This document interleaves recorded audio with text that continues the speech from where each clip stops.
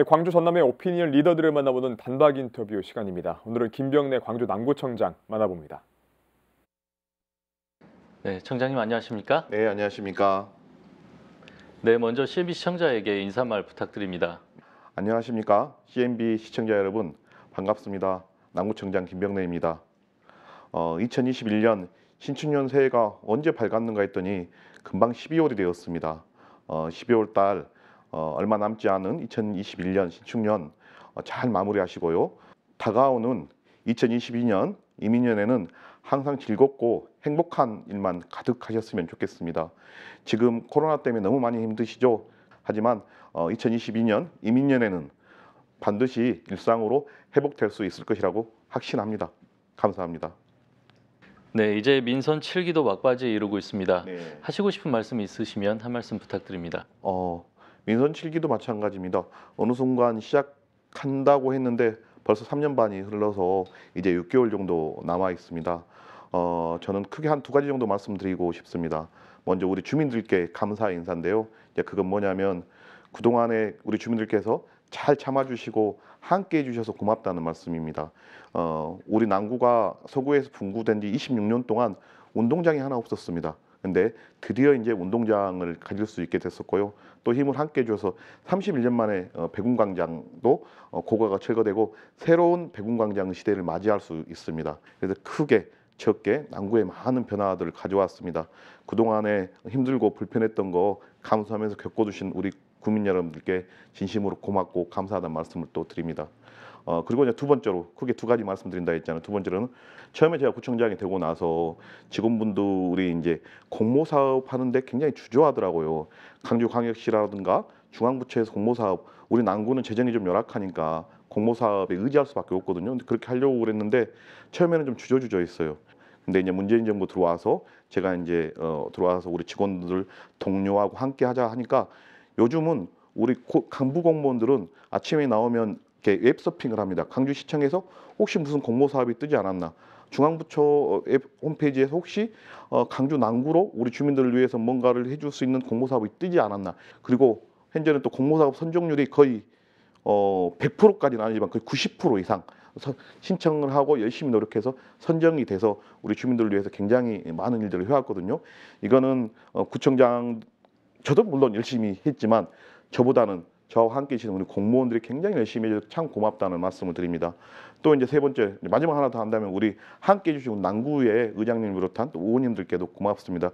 어, 평상시에 잘못한 부분 철저하게 또 지적을 하지만 또 대안도 제시 해주면서 함께 남구를 끌어왔었거든요. 참 이런 분들께 감사하고 고맙다는 말씀을 드리고 싶습니다.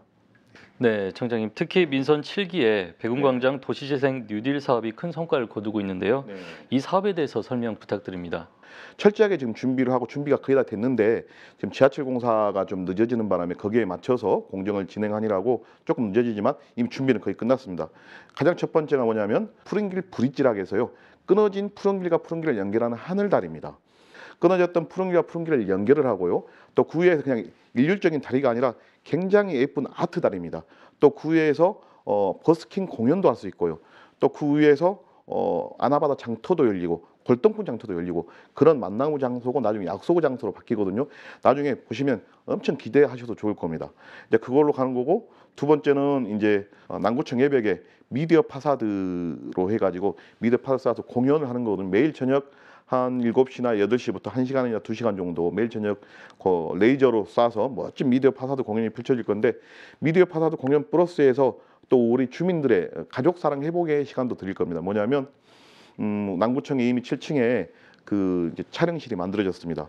군대 가는 아들을 위해서 부모님이 몰래 와서 촬영을 해놓고 가서 아들한테 이거를 우리 아들이 군대 가기 전에 어, 언제 푸른길을 갈 테니 7월 1일 날몇 시에 틀어주십시오 그러면 그때 이제 나오는 거예요. 그래 군대 간 아들한테 편지를 쓰는 거고 또 결혼 30주년 결혼 40주년이 된 거를 아내가 남편한테 남편이 아내한테 편지도 쓰는 거고 푸른 길을 걷다가 갑자기 가족들이 나오는 거예요. 깜짝 놀라게 가족들이 영상 편지를 쓸 수 있는 그런 공간도 만드는 거고요. 어, 마지막으로 하나 이제 그 아까 그 다리는 남구청 2층으로도 바로 들어올 수 있습니다. 지하철 2호선이 안성이 되면 지하철 2호선 지하철에서 내려서 엘리베이터 타고 한 번에 올라가서 남구청 2층으로도 들어오고 양쪽 푸른길 공원으로 아무 갈 수 있고 진짜 하는 멋진 만남의 공간이 될 거라는 말씀도 드립니다. 어, 남구 주민 여러분 기대해 주시고요. 강주 시민 여러분들께도 꼭 기대해 주십시오. 예. 또 생활 SOC 분야에서도 큰 성과를 거두고 있으시죠. 네. 어떤 사업들을 추진하고 계신가요? 어, 우리 CMB 시청자 여러분 혹시 생활형 SOC 사업이라고 들어보셨나요? SOC 사업 국가기관 사업이거든요. 국가에서 어, 항만 내고 철도 내고 도로 내고 하는 걸 SOC 사업이라 하는데 이거를 문재인 대통령께서 생활형으로 돌려라. 어, 생활형 SOC 사업을 해봐라. 뭐냐면 동네에 돌아다니면 가장 많은 민원들이 동네에 주차장이 없습니다. 우리 동네에도 도서관 지어주십시오. 우리 동네도 또 노래교실, 뭐 요가기술센터, 생활문화센터 지어주십시오. 이런 것들이거든요. 근데 다 해주고 싶은데 어, 보통 기초자치단체가 재정력이 약해요. 그래서 할 수가 없잖아요. 이거를 국비, 시비를 통해서 국가에서 지원을 해가지고 만들어주는 거거든요. 그래서 그동안에 이제 우리 남구가 많은 그런 것들이 요구 사항들이 많았어요. 대표적으로 보면 이제 우리 봉선 이동 어 그 생활문화센터가 지금 유황 근린공원에 지어지게 됩니다. 거기에는 그냥 우리 주민센터 플러스에서 생활문화센터 플러스에서 도서관까지 그 도서관은 10시까지 또 열 겁니다. 공원과 오히려서 멋지게 만들어지는데요. 또 이제 울산 사동 같은 경우도 그동안에 한 5억 정도 확보돼 있었어요. 근데 생활문화센터나 주, 동주민센터는 옮길 수가 없었습니다. 그래서 생활형 SOC 복합화 사업을 하고 거기도 이제 어, 우리 동주민센터, 생활문화센터, 도서관, 주거지 주차장까지 올해에도 우리 송암동, 효덕동 등 한 세 건 이상의 또 복합화 사업을 가져왔습니다. 저기 이제 우리가 했던 종합운동장 그 안에 그 국민체육진흥센터가 만들어지는 건데요. 여기에 이제 우리 생활체육의 동호인들이 운동장에서 뛰고 놀면 뛰고 운동하고 했을 때 이제 샤워장을 갖춰주고 그 다음에 사무실이 전혀 없었거든요.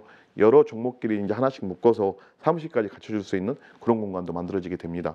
어, 생활형 SOC 복합화 사업 꼭 필요한 사업이었고요. 지- 우리 직원들이 최선을 다해서 어, 많은 사업들을 가져왔습니다. 또 장애인 복지 인권에 대해서도 관심이 네. 많으시다고 들었는데요.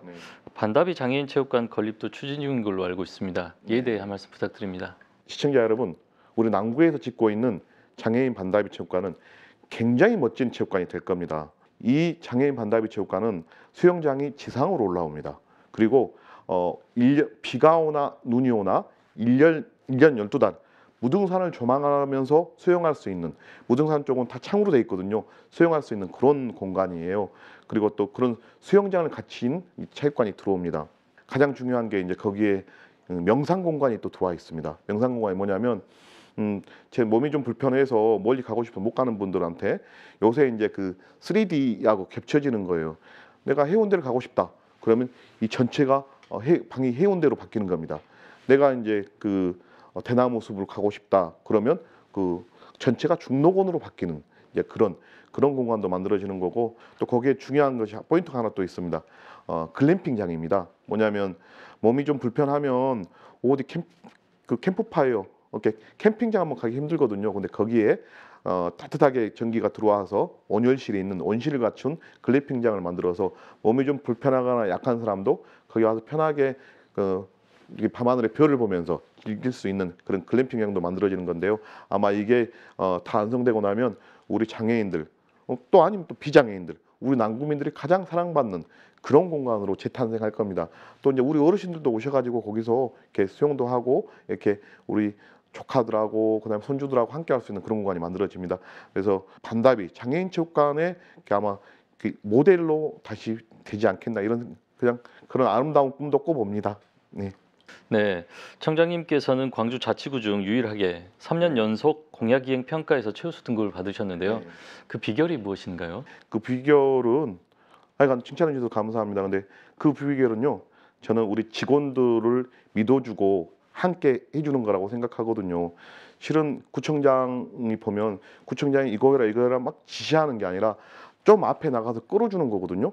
또 직원분들이 함께 올 수 있게끔 이렇게 끌어주는 건데 어, 뭔가를 제시하고 함께 토의하고 논의하고 그 과정에서 직원분들이 저보다 훨씬 뛰어난 아이디어도 내고 할 수 있는 것들을 만드는 방법을 내더라고요. 그래서 그래서 철저하게 우리 국장님, 과장님들 믿어주고 함께 갑시다 응원해주고 또 이렇게 해주면 직원분들이 저도 모르게 제 공약 사항들을 함께 이행을 해주고 계셨더라고요. 그러다 보니까 자연스럽게 어, 공약 이행률은 높았다고 생각되는데 이 자리를 불러서 우리 1,100여 명의 우리 공직자분들께 참 감사하고 고맙다 이런 말씀도 드립니다. 덕분에 제가 공약 이행률을 높일 수가 있었습니다. 고맙습니다. 네, 이뿐만이 아니죠. 그 매니페스토 실천본부에서 올해 최우수 정책으로 행복한 복지 7979 센터 이 사업을 선정했는데요. 네, 어떤 사업인지 설명 부탁드립니다. 어, 7979 센터는 말 그대로 우리 남구민 여러분들의 친구 친구입니다. 음, 우리가 이제 그 복지제도가 너무 다양하잖아요. 하루에도 계속 어, 새로운 복지제도가 나오고 또 이게 계속 바뀌는 거예요. 이런 복지제도만 전문적으로 공부하고 연구를 합니다. 우리 남구민이 607-7979로 전화를 하면 그 전화를 받아서 개인정보 동의, 제가 어, 주민번호를 대고 저는 누- 어디 사는 누군데 어, 이제 개인정보 동의합니다. 근데 제가 어떤 혜택을 받을 수 있는지 좀 알려주세요 하면 그분들이 그걸 조회를 해가지고 어떤 혜택을 받을, 받을 수 있는지 정확히 알려드리고 또 이제 그럼 어떻게 해야 되냐 물어보면 예약까지 해드립니다. 그리고 또 최근에는 이제 주민들 스스로 7979 봉사단까지 나왔습니다. 607에 7979로 전화하시면 각 동네에 7979 봉사대에 연락됩니다. 7979 봉사대는 뭐냐면 각 동네에서 지업사를 하시거나 전업사를 하시거나 건설회사를 하시거나 이런 분들 그 다음에 또 본인이 이렇게 손재주가 있으면 재능 기부를 하신 분들이 7979 봉사대에 이렇게 등록을 합니다. 그러면 이분들이 재능 기부를 해주시는 거거든요. 아까 전화 오신 분들 집에 가서 종구 이렇게 전등도 갈아주시고 그 다음에 뭐 어, 수도꼭지도 고쳐주시고 그 다음에 심지어는 또 대벽도 해주시고 장판도 바꿔 갈아주시고 그렇습니다. 그리고 또 기본 집 청소도 해드리고 그래서 7979 봉사대는 어, 자생적으로 우리 이제 지- 각 통의 지역사회 보장 예비체 임원들이라든가 각 통에서 봉사하고 싶은 분들이 만들어진 7979 봉사대인데요. 아마 호남에서는 유일할 겁니다. 그래서 이런 주민들한테 지금 호응이 너무 좋고요. 각 다른 지자체에서 저희南구로 벤치마킹 하러 오고 있는 그런 좋은 정책입니다. 저는 이런 7979 센터 같은 게 어, 각 지자체에 다 생겼으면 좋겠다는 생각입니다. 네, 청장님 그동안 남구청사 임대 문제로 고민이 많으셨을 네. 텐데요. 지금 상황은 어떻습니까? 어, 저도 처음에 속 많이 상했었거든요. 근데 지금은 전혀 속 상하지 않으셔도 됩니다. 우리 비어 있었던 공간에 이제 3층에는 국토안전관리원 호남본부가 들어와 있고요. 그 다음에 또 이제 2층 같은 경우는 우리 이제 그 근로복지공단 콜센터가 한, 한 250분 정도 되는데 그분이 또 들어와 그 콜센터에 또 들어오셨습니다. 그 다음에 또 3층 남은 일부 공간에는 또 어, 근로복지공단 질병판정위원회가 들어와 있고 어, 그러다 보니까 거의 이제 그 구청사가 차게 됐습니다.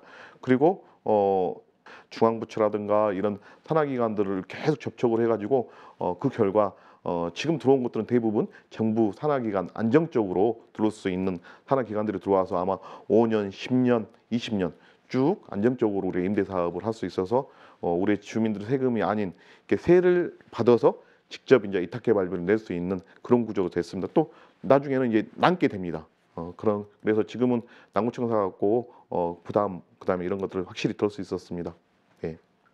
네, 마지막으로 CNB 시청자와 지역민들에게 한마디 해주십시오. 네, 존경하는 CNB 시청자 여러분, 남구 주민 여러분, 어, 민선 7기가 벌써 4년 차에 접어들었습니다. 어, 4년 차 마지막 해는 굉장히 중요한 시기라고 생각합니다. 민선 7기를 끌어오면서 각종 음, 했던 사업들을 마무리하는 시기거든요. 모든 건 끝마무리가 중요합니다. 어, 농사를 짓더라도 마지막에 병충해를 입어버리면 다 무용지물이 돼버리지 않습니까? 어, 마지막 끝마무리가 중요한 만큼 그동안 민선 7기 동안 해왔던 사업들 마지막까지 촘촘하게 잘 어, 성과를 낼 수 있게끔 노력하도록 하겠습니다. 어, 지켜봐 주시고 혹시 부족한 부분이 있으면 언제든지 어, 말씀을 주시고 또 우리 저를 비롯한 우리 의원님들 또 우리 공무원들 잘한 부분이 있으면 또 칭찬도 해주십시오. 그 칭찬에 힘입어서 열심히 뛰도록 하겠습니다. 코로나 19 그리고 오미크론 변종도 반드시 물리치고 코로나 19를 물리치고 우리의 일상을 회복할 수 있게끔 됐으면 좋겠습니다. 어, 저부터도 저부터서도 최선을 다해서 이렇게 뛰도록 하겠습니다. 주민분들 믿고 함께 방역 수칙 지켜가면서 코로나로부터 반드시 일상을 회복해 냅시다. 감사합니다. 네, 청장님 오늘 말씀 여기까지 듣겠습니다. 감사합니다. 네, 고맙습니다.